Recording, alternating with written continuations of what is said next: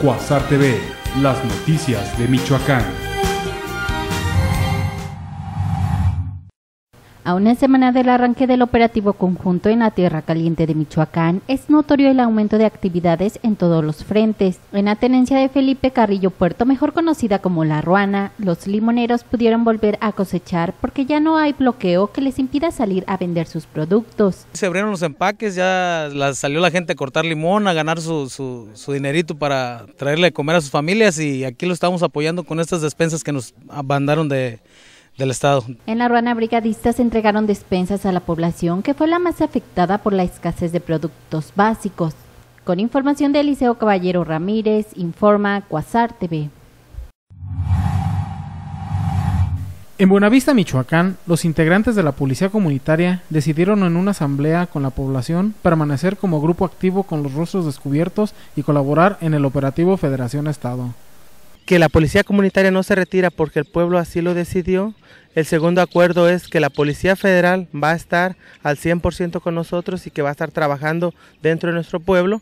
Dos convoys de militares y elementos federales, así como el sobrevuelo de helicópteros, son parte ya del entorno de estas comunidades que piden que permanezcan indefinidamente para volver a la normalidad de sus vidas. Con información de Liceo Caballero, informa Cuasar TV. Solo mediante denuncias o en flagrancia se procederá a detener a quienes porten armas de fuego en la zona de Tierra Caliente, donde permanece el operativo implementado por las fuerzas federales, señaló el secretario de Seguridad Pública Estatal Alberto Reyes Vaca. Bueno, eh, si hubiera denuncias seguramente, si hubiera denuncias seguramente, pero si no hay denuncias entonces no hay a quien apresar. entonces, eh, insisto, en ese, en ese eh, caso tendría que marcar la flagrancia exactamente.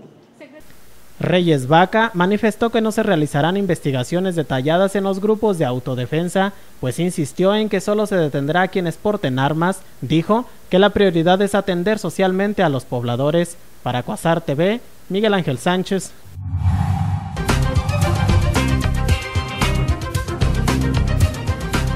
El sistema de educación a distancia de la Universidad Vasco de Quiroga te da la oportunidad de estudiar a través de Internet, licenciatura en gestión empresarial y derecho, las especialidades de mercadotecnia y recursos humanos, las maestrías en filosofía aplicada, ciencia política, gestión empresarial y mercadotecnia, además de los diplomados en formación de tutores en línea, juicios orales e historia del arte. www.ubac.edu.mx. Informó Elena Cintora.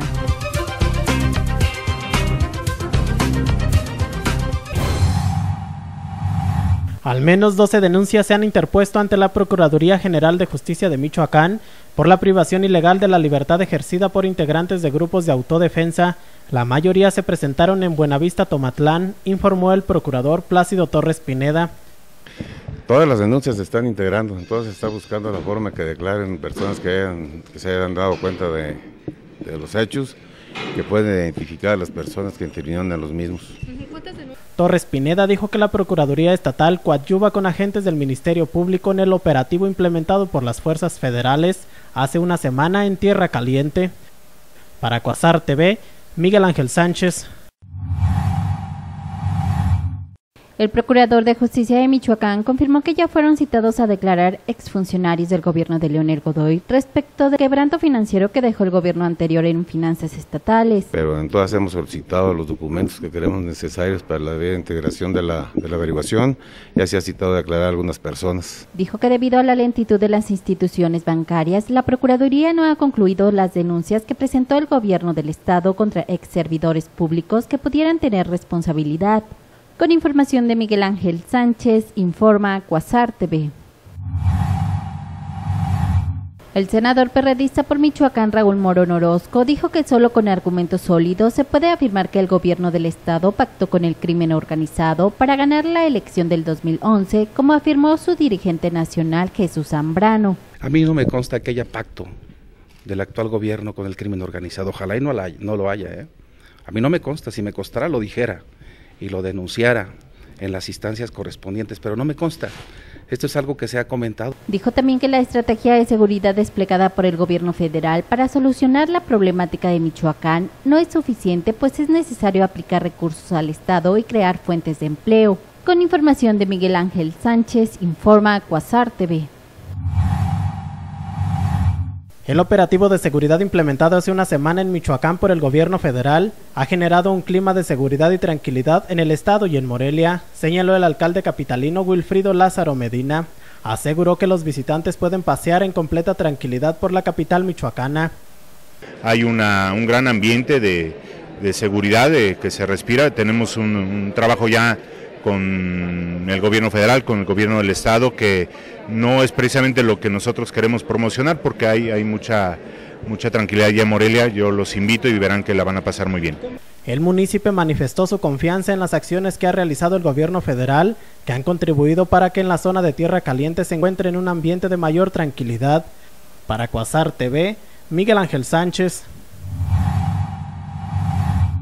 La reforma educativa será benéfica para Michoacán en términos de que prevé los cimientos para ordenar el sistema educativo y la evaluación integral, consideró el senador perredista Raúl Morón. Mucho mejor.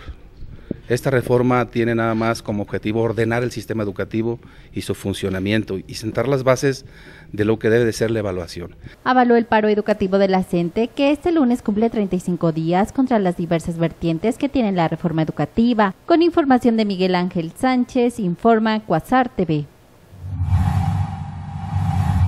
Un grupo de activistas exigieron respeto a los derechos de los animales. Burbuja, firulais, pulgas y orejitas son algunos de los nombres de los cientos de mascotas que marcharon en Morelia.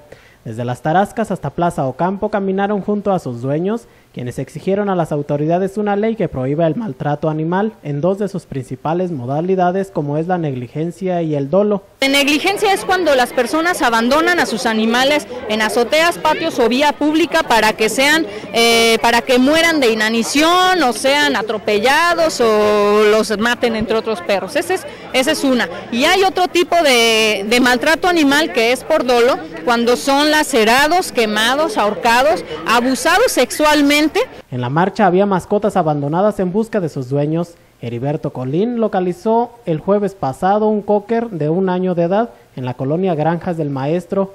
Dará informes en el celular 4432 25 5408. Para Cuasar TV, Miguel Ángel Sánchez.